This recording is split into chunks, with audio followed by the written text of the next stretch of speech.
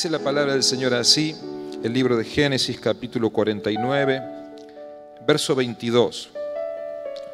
Rama fructífera es José, rama fructífera junto a una fuente, cuyos vástagos se extienden sobre el muro. Le causaron amargura y le asaetearon. Le aborrecieron los arqueros, mas su arco se mantuvo poderoso y los brazos de sus manos se fortalecieron por las manos del fuerte de Jacob, por el nombre del pastor, la roca de Israel, por el Dios de tu Padre, el cual te ayudará, por el Dios omnipotente, el cual te bendecirá con bendiciones de los cielos de arriba, con bendiciones del abismo que está abajo, con bendiciones de los pechos y del vientre. Señor, es tu palabra, por ella somos bendecidos en el nombre de Jesús. Amén. La Biblia dice, hablando de José ya en sus días finales, después de haber este, transcurrido tantas cosas en la vida, muchacho que le tocó pasar mil historias, recibe la bendición de su padre, la profecía de Jacob sobre cada uno de sus hijos, y cuando llega, mira ese muchacho que tiene poder, ah, una niña, está entusiasmado, ganaron las chicas, muy bien, muy bien. Siempre quieren ganar las chicas, no sé por qué esa competencia así. Muy bien, este José que pasó tantas cosas en la vida, recibe en los días finales de su papá, Jacob, la bendición profética que los padres establecían sobre los hijos, y recibe esta palabra tan fuerte. Rama fructífera José, rama fructífera junto a una fuente, sus vástagos se extienden sobre el muro. Le causaron amargura, le lanzaron flechas, lo aborrecieron los arqueros. Yo usé una palabra aquí recién, lo asaetearon ¿Se entiende eso? Le enviaron las saetas. ¿Se entiende? Bien. Le lanzaron flechas. Le aborrecieron los arqueros.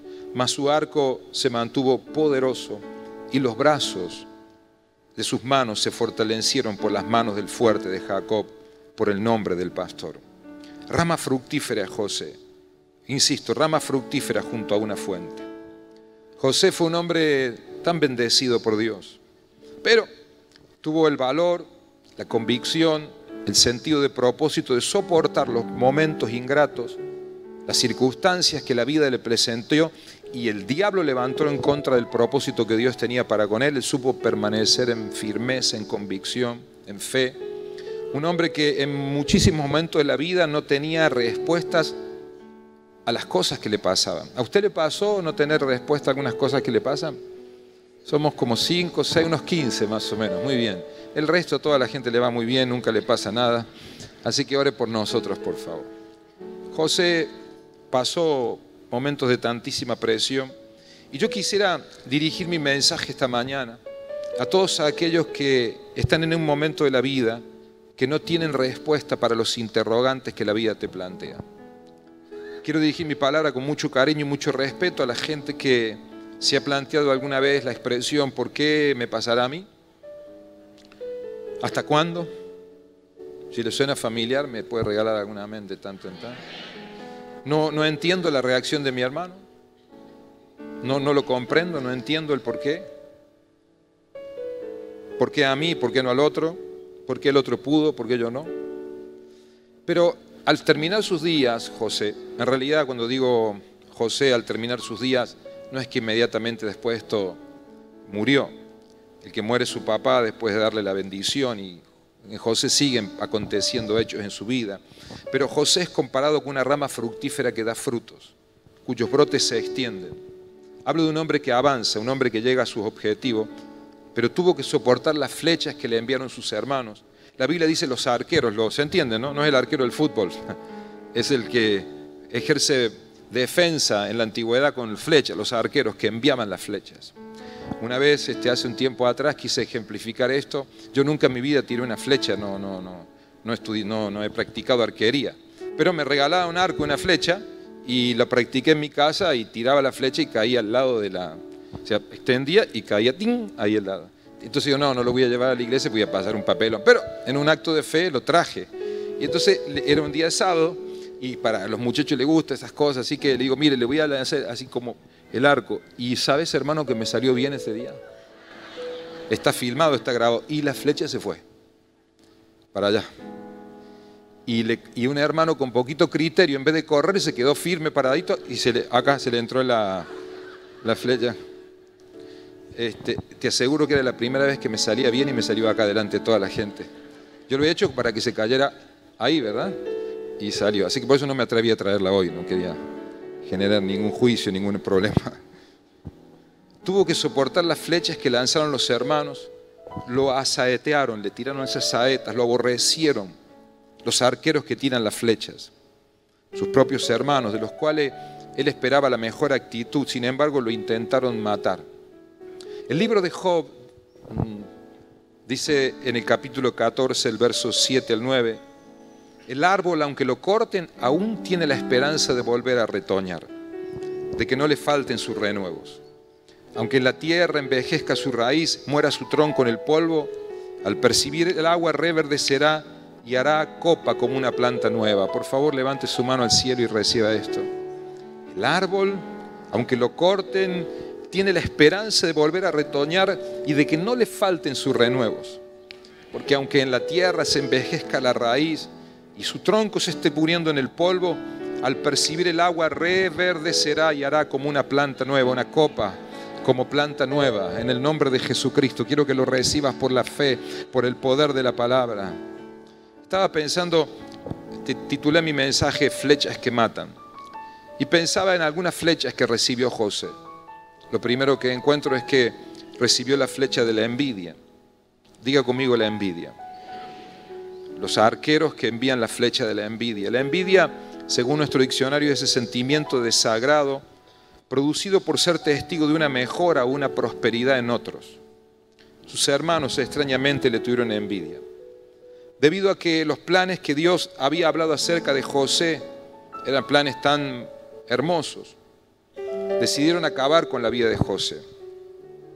Debido a la actitud con que José enfrentó la vida, sus hermanos le odiaron, le aborrecieron. No sé cuántos, no me levante la mano por favor, pero cuántos hayan enfrentado la envidia. Le dije que no levantara la mano. La envidia es un monstruo gigante que mata, que destruye. Mata las relaciones, mata las familias. Puede matar a personas en la iglesia inclusive. Yo soy el grupo de gente que cree que la competencia es saludable. Es saludable cuando te motiva a crecer, a desarrollarte, a sacar lo mejor de vos. Sin embargo, la competencia se torna nociva, mala, yo diría mortal a nuestras emociones. Cuando en mi sentido de bienestar nuestro sentido de valor en la vida depende de ser mejores que otras personas en cualquier área de la vida. Me gustaría decirte que nunca te valores a expensa de otras personas. Tú puedes reconocer valor en otra persona, pero sin desmerecerte a ti mismo. La envidia se da por dinero, se da por belleza, se da por posiciones, la envidia se da por popularidad, es todo un problema no saber quién es uno en la vida. Por eso Pablo le escribía a los filipenses, nada hagan por rivalidad o por vanidad, Filipenses capítulo 2. Antes bien con humildad, estimando cada uno a los demás como superiores a, él mismo. No busquen su propio provecho, sino el de los demás. Y haya pues en vosotros este sentir que hubo también en Cristo Jesús. Quiero que levante su mano al cielo y reciba esta palabra. Ahí usted lo ve a José enfrentando la vida buscando de Dios. Y le pasaron cosas, gente que lo envidió, le deseó el mal, gente que estaba lista para celebrar el día de su muerte, gente que estaba lista para celebrar cuando José sufriera. Todo eso conllevaba detener el propósito de Dios. Yo quiero decirte algo, cuando Dios está en un propósito, cuando Dios está en el asunto, cuando en el proyecto divino está en, la voluntad de Dios que tú avances, que tú prosperes, no hay diablo, no hay infierno que te pueda detener. Si tú permaneces en una actitud de búsqueda de Dios, clamando al Señor en los momentos más oscuros de la vida, Dios te va a sostener. Una puerta grande Dios va a abrir. Yo tengo algunas cosas más para decirte sobre este punto específicamente, pero quiero declarar esto por la fe y en mi espíritu. No hay diablo que pueda detener lo que Dios quiere hacer contigo Por eso nunca te desenfoques, nunca te desenfoques, nunca te desenfoques. Aprende que Dios tiene un propósito con tu vida, que algo bueno Dios va a hacer y hay cosas que nos dañan inevitablemente, pero que no te dañen más de la cuenta. Seguí adelante porque la bendición de Dios estará sobre tu vida. No insisto, no hay diablo, no hay infierno que podrá detener lo que Dios quiere hacer con tu vida. Rama fructífera, José, sus vástagos, sus renuevos se extienden por el muro. Otra flecha que le enviaron fue la flecha de la tentación. Es famoso José en la Biblia por su historia con la, aquella mujer, esposa de Potifar. No sé por qué la Biblia no nos deja el nombre de la señora. Le hemos bautizado aquí Potifara, porque no, no tenemos otro nombre. Y el hombre se mantuvo con la convicción. Aquella mujer le propuso un momento de sexo. José humanamente lo deseaba, pero él veía las consecuencias del pecado y decidió ser íntegro, porque ser íntegro es una decisión del corazón. Ser íntegro es una decisión. Usted y yo decidimos vivir integridad o no. Uno puede culpar a mil razones de la vida, situaciones que te rodean, que me dijo, que me hicieron, que me tendieron una cama, que esto y que el otro y no que sé qué. Pero ser íntegro es una decisión del corazón. Yo siempre pienso que Adán pecó en el paraíso, sin embargo Jesús fue fiel en el desierto.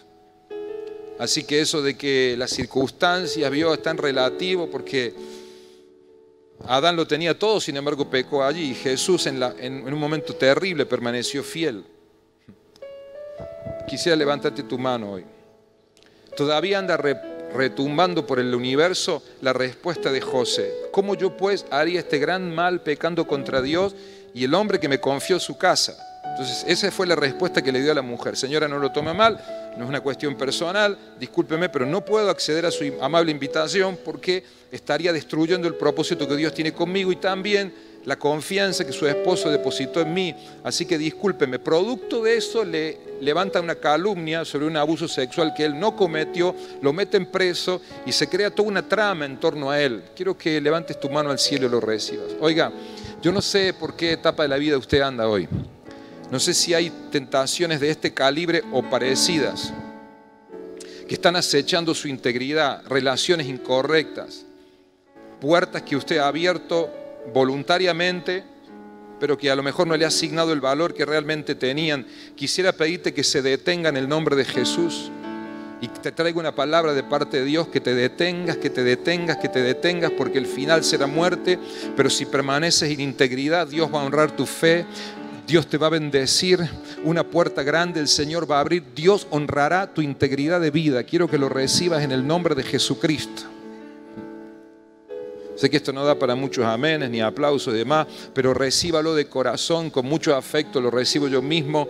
José humanamente, en su humanidad, tal vez se hubiera involucrado, pero él veía las consecuencias del pecado, decidió ser íntegro, permanezca en integridad, Dios va a honrar tu fe.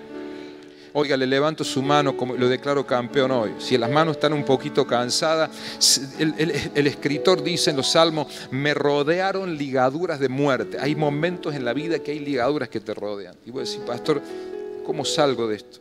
Usted abre algunas puertas y esas puertas te empiezan a atar, a atar gente que se involucra en el entorno de tu vida. Por favor, córtelo en el nombre de Jesucristo. Tal vez no sea muy este, profundamente teológico mi mensaje, pero recíbalo, córtelo en el nombre de Jesús. Dios te va a sacar en victoria. Y voy a decirte algo, no vas a quedar como un bobo, vas a quedar sano. Vas a ver.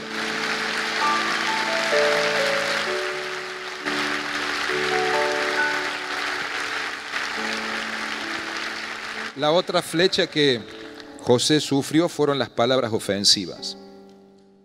Diga conmigo palabras ofensivas. Potifar decidió creer a su mujer. Y José, fruto de aquellas palabras, perdió su reputación. Y ahí están los arqueros, ¿no? Que matan la reputación, que intentan destruir la reputación. Pero el verso 24 dice, su arco se mantuvo firme con sus brazos, porque sus brazos son fuertes. Gracias al Dios de Jacob, al pastor y a la roca de Israel. Quiero que lo recibas en el nombre de Jesús. Hoy vivimos una generación que maldice a diestra y a siniestra. Tú ves el anonimato de los cobardes en las redes sociales que bajo un perfil oculto o no, en una noche que andan medio desvelados, andan indagándose la vida de todo el mundo y ahí destilan sus frustraciones, sus amarguras y sus cosas. Gente que puede levantarte calumnias y hacerte daño. Gente que puede intentar dañar tu reputación para quitarte tu familia, quitarte tu posición. ¿Cuántas veces uno como pastores enfrenta a veces la acusación injusta y uno dice, yo ni siquiera lo conozco, ni siquiera le estreché la mano, pero el tipo cree que puede hablar. Pero Dios peleó por, por José y Dios lo mantuvo en bendición porque él había obrado de la manera correcta.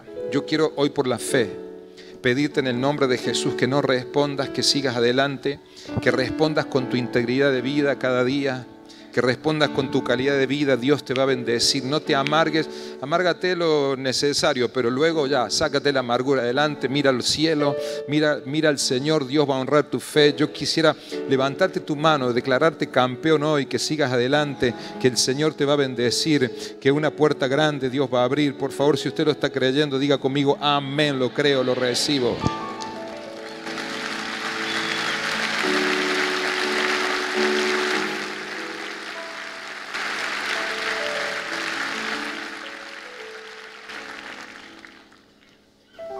Y la cuarta flecha que noto que José recibe es la deslealtad. Diga deslealtad porque allí están los arqueros que lanzan la flecha de la deslealtad. ¿Cuántos alguna vez han enfrentado la deslealtad? También yo le hago más preguntas a usted. Pero vio cuando usted espera la actitud de alguien y no la encuentra. Entonces la confianza se rompe. Y es por eso que hay tantísima gente diciendo, ah, son todos iguales. Todos los hombres son iguales. Todas las mujeres son iguales. Gente que está frustrada por muchas cosas de la vida. Y sobre todo en este tiempo donde la gente habla de la autenticidad. Hoy se usa mucho eso, yo soy auténtico, yo soy, digo lo que quiero. En estos tiempos le asignamos un gran valor a la autenticidad. Pero por levantar tanto esa actitud nos hemos olvidado de la integridad. Decimos que ser auténtico es importante. Usted ve la televisión hoy, la gente, yo soy auténtico, yo digo. Ser auténtico porque lo más importante es sentirse bien con uno mismo. Entonces decimos, seamos francos, no refrenemos nuestros impulsos, seamos verdaderos, seamos genuinos con todo, así uno se siente realizado. Pero voy a plantearte algo. ¿Usted sabe que las cárceles del mundo están llenas de hombres y mujeres que actuaron siguiendo sus sentimientos y sus impulsos?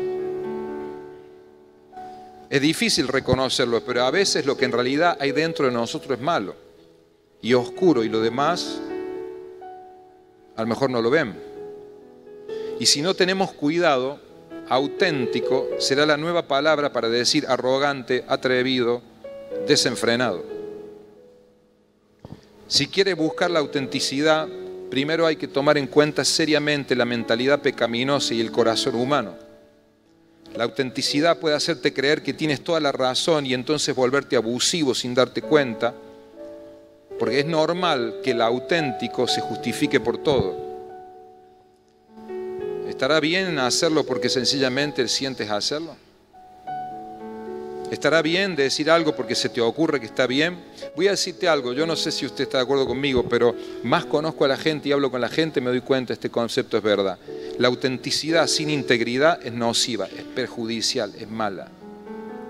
Si eres auténtico con un corazón lleno de egoísmo, con una mente sucia y un alma resentida, abrirás una caja que hará daño a diestra y a siniestra. Por eso la autenticidad tiene que estar basada en la integridad. Por favor, reciba lo que voy a decir ahora. José tuvo que enfrentar la deslealtad. Y a mí me ha pasado.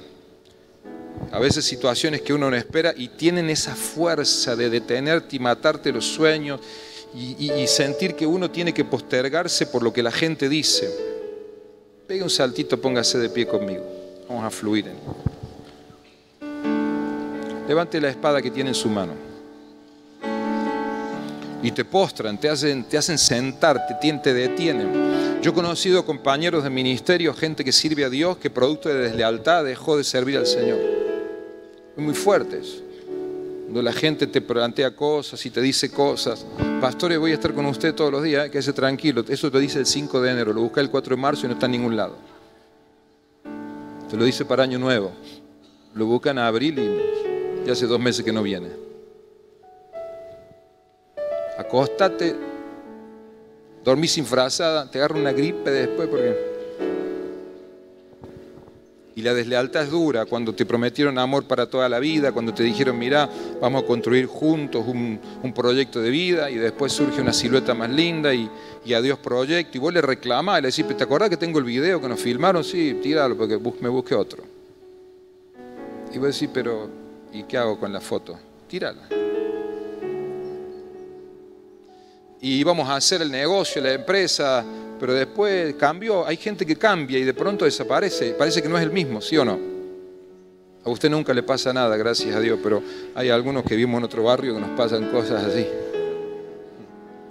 Yo quisiera levantarte la mano y decirte que no es una buena razón para, para abandonar.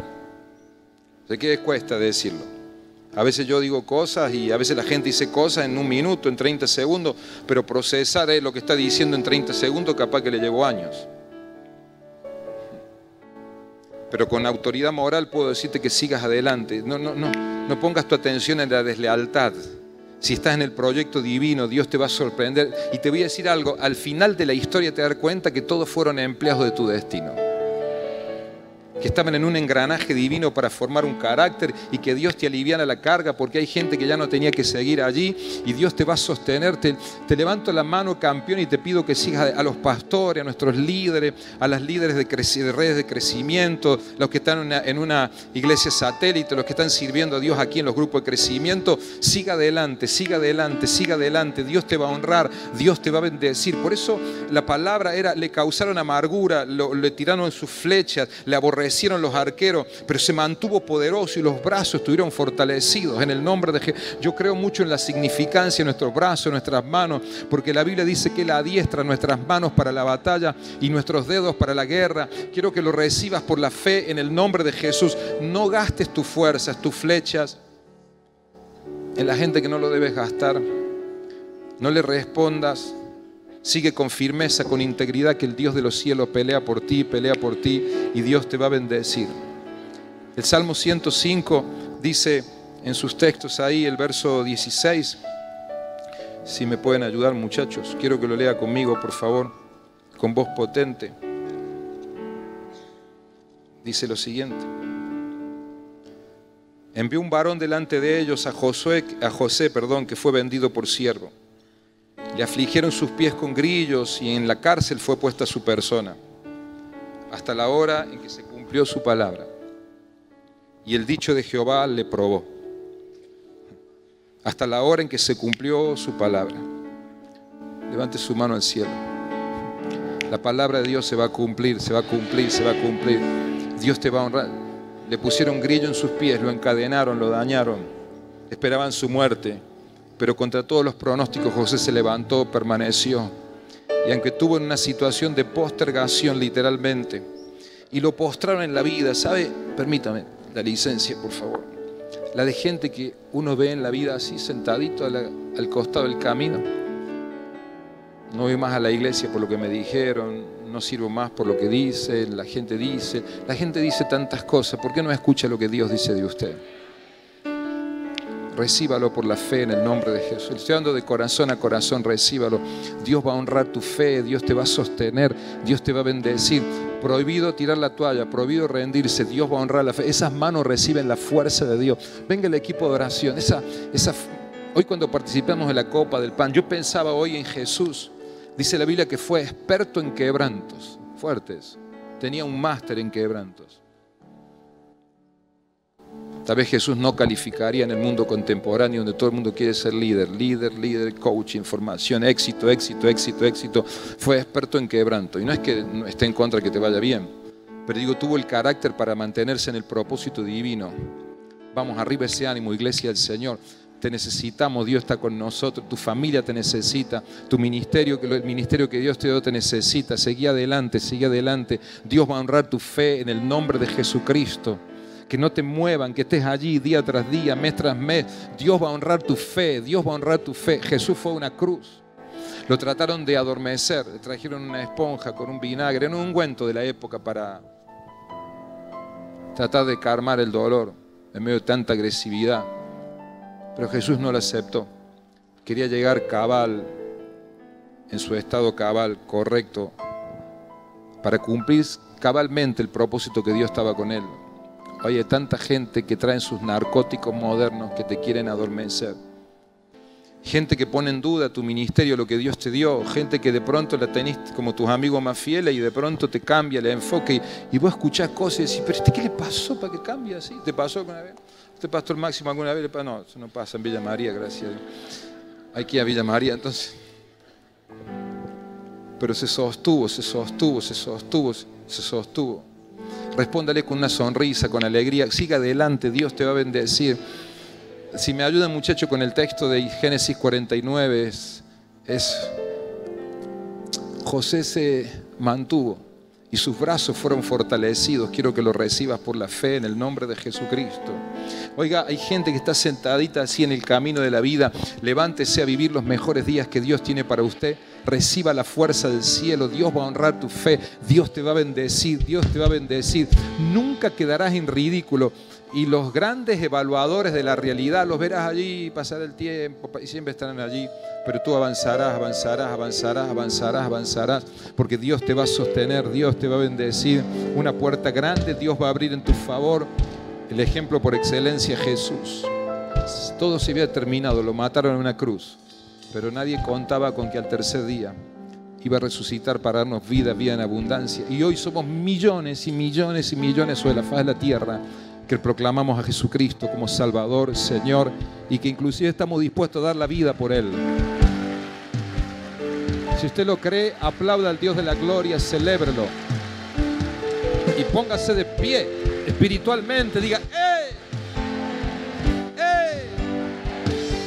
Hasta la hora en que se cumplió su palabra. Proclámelo hasta la hora en que se cumplió su palabra que la palabra de Dios se va a cumplir, se va a cumplir, se va a cumplir, se va a cumplir, se va a cumplir. Una vez más te lo voy a recordar, la palabra de Dios se va a cumplir. Se va a cumplir. Lo que Dios dijo de ti se va a cumplir, se va a cumplir, se va a cumplir. Circunstancialmente habrá gente que pueda dañar tu reputación, tu prestigio. De hecho, a la iglesia cristiana le esperan días así. Tristemente esperan días así. Donde el carácter va a ser formado donde el avance tanta maldad, leyes que denigran la condición de hombría, feminidad, avalan matar los bebés, roban la identidad de una mujer, de un hombre, que hacen creer que todo lo establecido por Dios es un absurdo y que tenemos que evolucionar como seres humanos, planean pervertir a nuestros niños con una educación que ellos manifiestan plural, sensata, muy creíble, pero en realidad son perversos. Son perversos, son perversos diplomados hay que decir las cosas por su nombre. Y nos esperan días moviditos, pero voy a decirte algo, por eso será vital, número uno, la unidad del pueblo de Dios. Considera a tu hermano como tu hermano, superior a vos mismo. Segundo, desarrollar el carácter y la identidad en Dios y estar allí fortalecido en el Señor porque la palabra de Dios se va a cumplir. Y quiero establecer proféticamente algo, si usted lo toma, lo deja, es una convicción interior que tengo en mi corazón y no me cabe la menor duda que es una palabra de Dios para este tiempo. Viene el día de un amanecer glorioso sobre Argentina.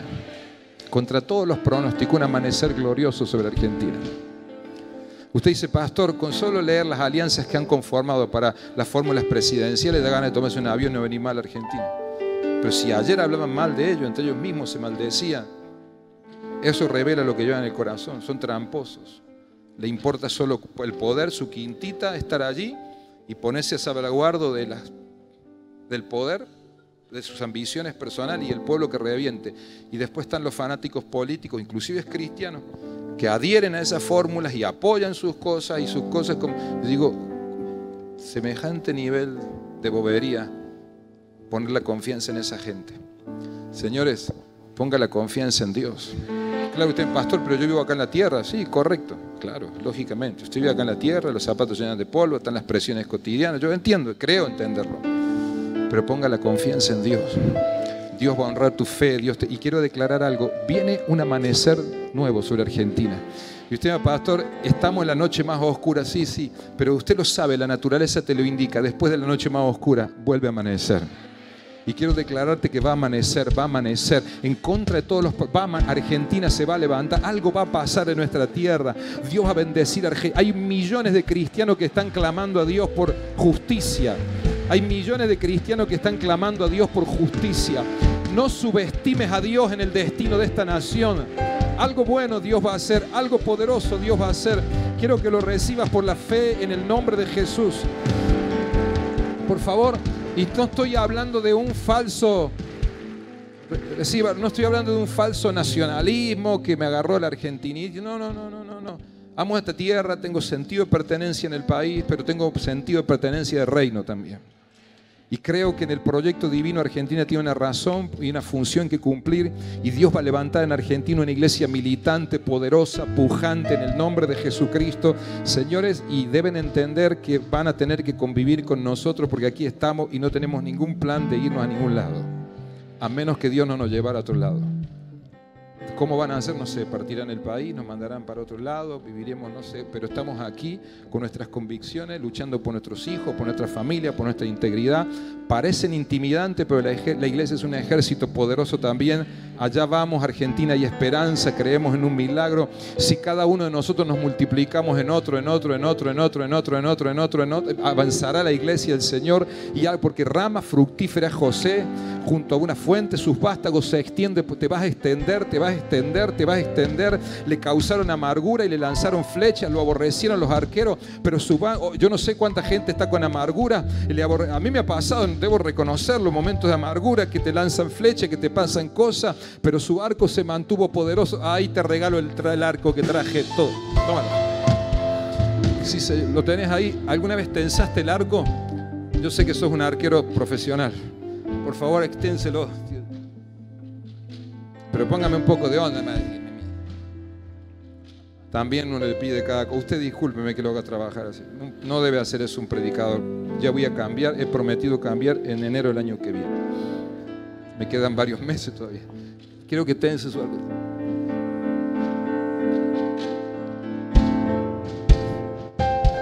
Tiene la flecha ahí.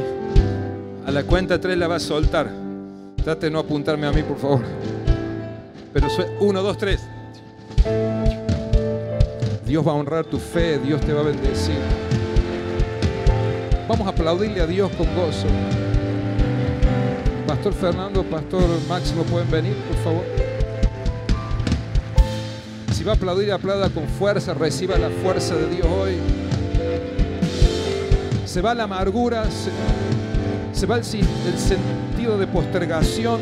Oiga, usted tiene valor en el reino de Dios. Dios cree en usted, su iglesia cree en usted. Por eso el Congreso de Damas, por eso el Congreso Adolescente, por eso estamos esta mañana aquí hoy proclamando a Jesús y levantando los valores del reino de Dios. Si lo cree, aplaude al Dios. Algo va a pasar hoy. Cadenas se cortan, ataduras se caen, milagros vienen de camino en el nombre de Jesucristo, el Rey de Gloria. Oro que Dios te bendiga.